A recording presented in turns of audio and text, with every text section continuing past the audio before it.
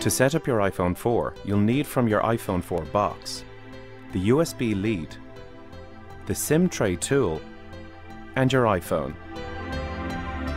You'll also need a computer with Windows Vista or XP with SP2 or later, or a Mac operating system with 10.411 or later, a USB port, an internet connection, and the iTunes software.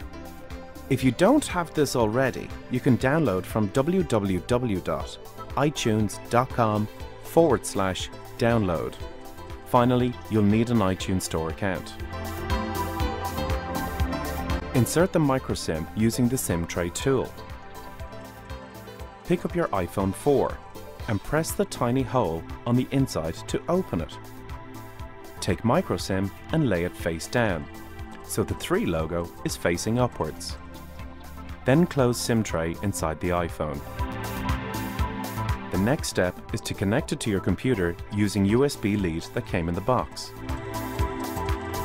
iTunes recognises it's been connected, so follow on-screen instructions to set it up.